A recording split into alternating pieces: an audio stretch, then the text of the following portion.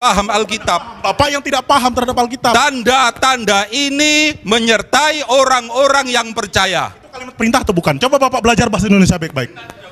Saya mau kasih tahu. Coba Belajar bahasa Indonesia baik. Itu kalimat perintah atau kalimat apa? tanda-tanda ini adalah orang timur. ya boh? Eh? Terus di mana? Itu, itu Anda orang timur apa bukan? Nah, nah, op, op. Oh, Ah, atau tanda-tanda ini adalah orang timur. Berarti kan jelas. Perintah atau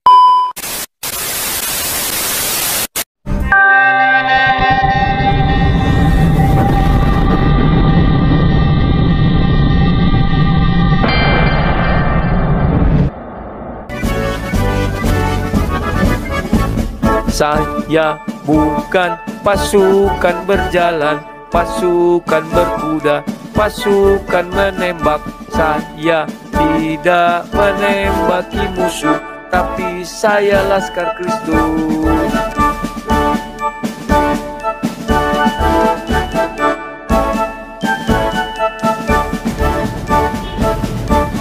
Salam sama debaters. Berani bertanya, berani ditanya. Jangan kerja kau hanya bertanya terus. Nah, kemarin sudah saya suguhkan debat A yang dibuat AWF itu ya, di mana Ustadz Masyud dihajar habis-habisan oleh penanya. Yang kedua oleh pendeta Muriwali itu ya. Nah, sekarang sesuai judul saya, saya buat itu apa? Debat di kedetua. Iya kan? Kalau kalian lihat cara berdebatnya dok, si Masyud ini, Ustadz Masyud ini kayak di kedetua itu nak, sampai berdiri dia terus mendatangi orang yang bertanya, tunjuk-tunjuk segala macamnya. Kita saksikan dulu bagaimana serunya debat di kedetua ala Ustadz Masyud. Paulus dikatakan di dalam pemberitaan Injilnya dia pernah sempat apa menjadi sesah orang Yahudi Ah. bahkan dikatakan tapi dia tidak mati. Ini membuktikan bahwa apa yang disampaikan di dalam kitab Markus itu adalah firman Allah. Karena itu terbukti. Saya mau tanya, kalau memang mau menyanggah per- per- pernyataan saya ini, berarti yang namanya Tuhan itu harus dipertanyakan apa namanya kuasanya.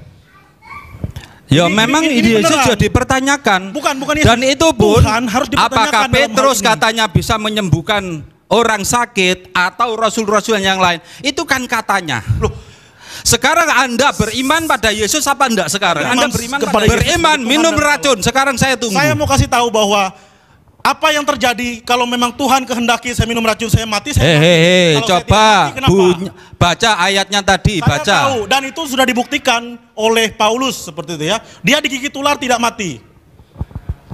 Sekarang Kalau Bapak tidak percaya itu artinya Bapak tidak mempercayai bahwa bohong. Ayo coba. Bukan.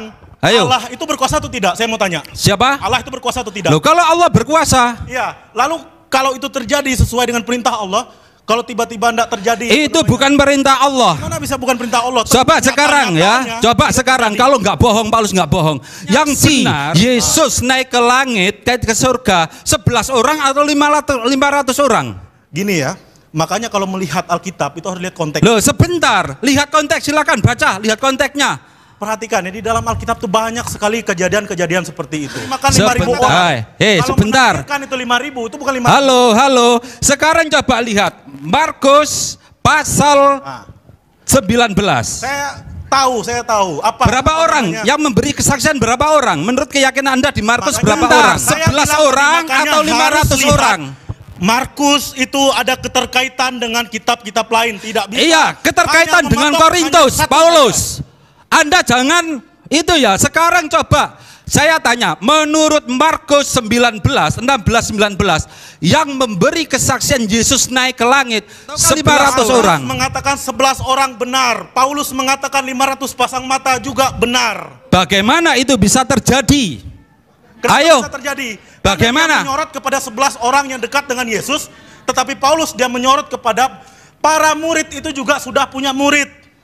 Mana di situ itu Terus, orang? Polikarpus itu murid langsung dari Yohanes. Artinya apa? Ada para rasul itu juga punya murid. Hei, hei, di Markus itu disebutkan 11 orang. Saya katakan Markus 11 orang benar. Hmm. Paulus mengatakan 500 pasang mata itu juga benar. Bagaimana itu bisa terjadi? Nah, makanya harus melihat keterkaitan jangan hanya memotong satu lalu mengatakan, bisa. "Ini Coba. kami, kami yang paham. Coba sekarang, bukan hanya Anda yang paham. Sekarang gini, Saya menurut tanya bagaimana apakah Bapak sudah melakukan penggalian? sudah saya gali sebelum Anda mahasiswa, saya sudah mengkaji. Saya Ya. sejak kecil sudah belajar Alkitab. Ha, kalau sudah belajar Ya. Alkitab, coba sekarang cari Ayat dalam yang Taurat. berbunyi Saya tidak akan apa namanya itu karena lah. Saya Berarti menghafal. Anda ini nggak bisa. itu. Coba ya, kalau Saya akan menurut Yesus, membuk- membuktikan satu persatu, saya hanya ingin lah. Markus yang sedang kita permasalahkan. Oke, kalau memang Anda percaya Markus, kalau Anda minum racun nggak akan mati. Karena di situ sebutkan tanda-tanda ini menyertai orang yang percaya. Anda percaya apa enggak? Saya percaya. Nah, berarti Anda siap minum racun.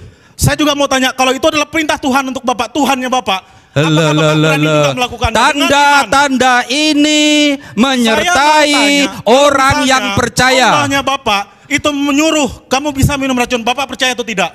Sebentar, Saya it- mau tanya dulu itu. Lah. Pak harus clear juga. kalau ada perintah dari Allah saya minum racun. Sama saya juga. Nah, ada perintah tanda-tanda Karena saya ini. percaya dia berkuasa. Kalau saya mati, Lah, itu juga coba perhatikan semua ya. Tanda-tanda ini menyertai orang yang percaya. Berarti Anda sudah percaya, ayo minum racun maut. Anda sudah Jangan percaya ya. apa belum? Ayo. Anda sudah percaya atau belum? Baca ayat ini. Ayo. Allah. Loh, Loh, bukan berita. Tanda-tanda tanda. Itu ini tanda. mempercayai orang yang percaya. Ayo. Iya, itu hanya tanda, Pak. Loh, ya Tanda apa? itu bukan perintah. Nggak ada kalimat perintah. di situ. Berarti Anda belum percaya. Bukan masalah belum percaya. Nggak paham, nggak paham Alkitab. Alkitab. Tanda-tanda ini menyertai orang-orang yang percaya. Itu kalimat perintah atau bukan? Coba Bapak belajar bahasa Indonesia baik-baik. Saya mau kasih tahu. Coba, Belajar bahasa Indonesia baik. Itu kalimat perintah atau kalimat apa? Tanda-tanda ini adalah orang timur. Ya apa? Eh?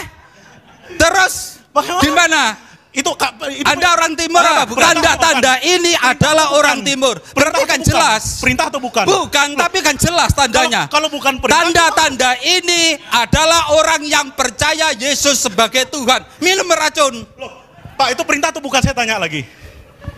Perintah atau bukan? Baik, kita putus. Berarti identitasnya Berarti Bapak harus Loh, membuat Anda yang tidak paham. Contohnya gini. Pertanyaan. Tanda-tanda ini, nah, tampak sebagai orang tanda-tandanya.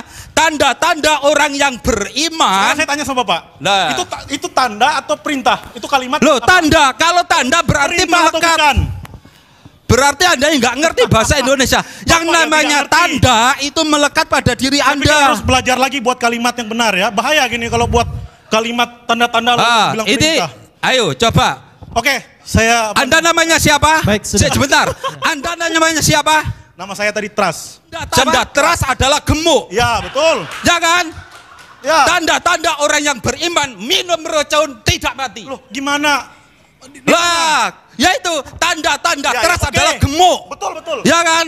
Saya setuju. Tanda-tanda orang yang percaya Yesus minum racun tidak mati. Oke, saya setuju. Ya kan? Belajar bahasa Indonesia ya. Tanda-tanda teras adalah orang gemuk. Ya enggak? Ya, betul. Tanda-tanda orang yang percaya Yesus minum racun tidak mati. Saya percaya juga. Saya percaya, tapi Itu bukan tidak perintah. Itu sudah tanda. Yang namanya teras itu ya gemuk. Yang namanya orang percaya minum racun tidak mati. Oke. Ya kan? Baik, sudah selesai. Ustaz. Belajar bahasa. Oke, terima kasih, Tat. Ya, oke. Terima kasih, sudah selesai. Belajar ya. Oke. Sarjana Elman. Belajar Jangan menipu lagi. ya. Jangan menipu. Iya, iya. Ya. Juga Ya. akan belajar bahasa Indonesia buat Baik. Nah, kalian sudah lihat kan, saya nggak bohong ya. Kalau kalian pernah di kedai tua duduk, ah orang tuh berdebat gitu, sampai tunjuk-tunjuk tuh, sampai datang dia ke, ke lawan bicaranya dia. Nah, di dalam debat kali ini, itu kan penanya, bukan pemakalah. Baru kali ini saya dengar ada debat seorang pemakalah emosi dan marah kepada penanya, ya kan? Sampai dia garang sekali majukan begini, kamu teologi begini, pokoknya begini. Datang dia, itu kan tidak perintah, kata penanya ini. Bingung si Masyud ini, karena malu, Masyud ini kan akan malu nih. Karena memang itu bukan apa yang dibilangnya di Markus di Markus 16 itu ya kan dikatakan pergilah. Ah, Pergilah itu sebuah perintah, ya kan? Beritakanlah Injil ke seluruh dunia itu perintah. Perintah kepada siapa? Yang di saat itu adalah murid-murid Yesus. Kan gampang me- melihatnya itu ayat itu kan. uraikan satu-satu, ya kan? Percaya akan dibaptis, yang tidak percaya nggak dibaptis dan kena hukum. Kan setelah masuknya orang ini diperintah pergilah, pergilah mereka kan mengabarkan Injil. Yang percaya akan dibaptis. Kan Yesus bilang yang percaya itu kan ah, pergilah jadikan seluruh bangsa muridku baptislah katanya kan di Matius 28 ayat 19 dia. Nah, artinya nanti ketika orang ini menginjil ada yang percaya akan dibaptis. Akan demikian.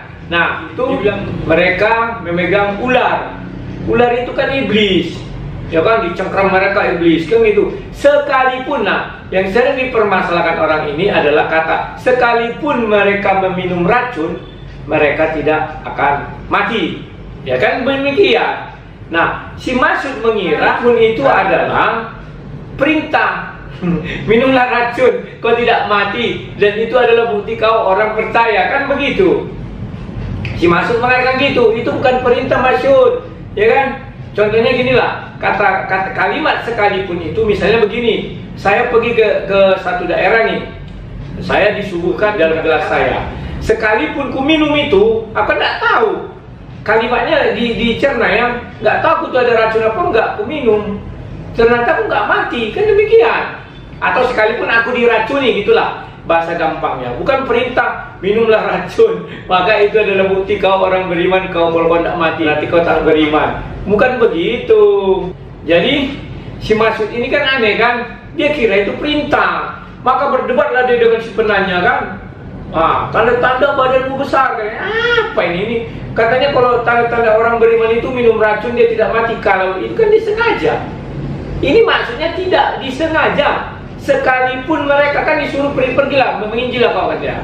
Ya kan? Mereka mau memegang ular. Nah, sekalipun dia meminum racun, ini aja itu. Kecuali bilang minumlah racun atau ah, kasihlah racun. Diminum mereka tak akan mati. Kan sekalipun mereka. Jadi ketika dia menginjil dia nggak tahu ternyata dikasih racunnya diminum. Dia nggak mati. Nah sebenarnya gampang ini. Dan pembuktian daripada ayat ini sudah nyata di dalam kehidupan kita sehari-hari keimanan kita sehari-hari. Ya bahwa banyak orang mengaku-ngaku rasul mengaku banyak loh. Ya kan? Dan ada satu sejarah besar yang mengaku rasul dia minum racun mati, ya kan? Dia nggak tahu dia diracun, diminumnya dia mati. Artinya dia bukan orang benar atau orang beriman. Itu maksudnya.